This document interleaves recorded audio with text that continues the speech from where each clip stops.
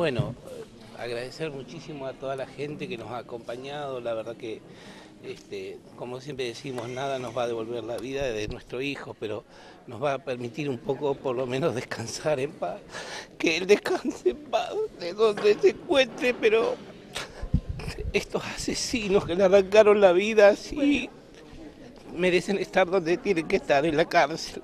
Así que bueno, vamos a esperar el juicio de cisura.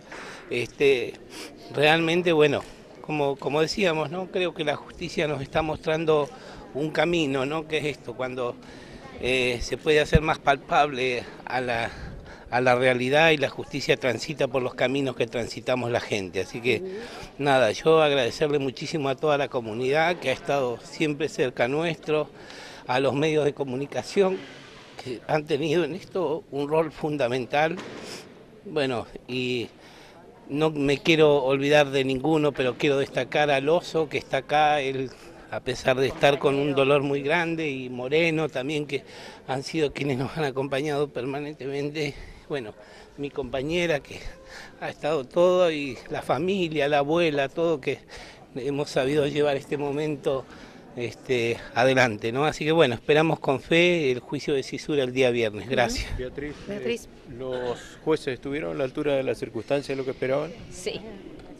Y hago justicia porque creo que fue la primera vez que pasa esto en la comunidad de acá de la zona sur.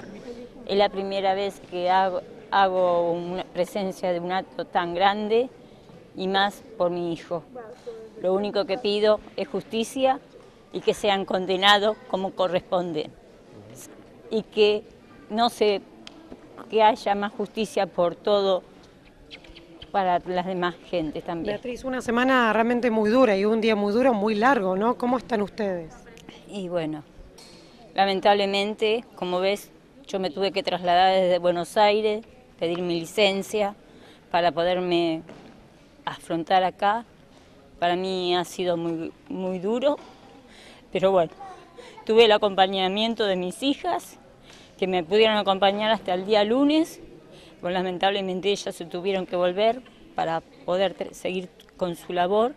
Y bueno, ahora no sé qué voy a pasar, porque yo el día viernes tenía que volverme, así que no sé cómo voy a hacer. Eh, voy a tener que pedir un cambio de viaje y tengo... ¿Pensabas que hoy ya se finalizaba el juicio? Sí, sí, pero bueno. Pero el viernes es importante esta audiencia en Esquel donde finalmente se va a conocer la, sentencia a estos dos culpables. Sí, y espero que sea perpetua, que sea perpetua y que no se haga el dos por uno porque no puede ser, tiene que ser definitiva, tiene que terminar en la cárcel, porque pueden seguir matando más gente como le hicieron a mi hijo, que con 30 años se me fue lo mejor que yo tenía, que era mi varón, era todo para mí. Que yo justo a los dos días de verme, que yo me venía con, con él de vacaciones y no lo pude despedirme de él.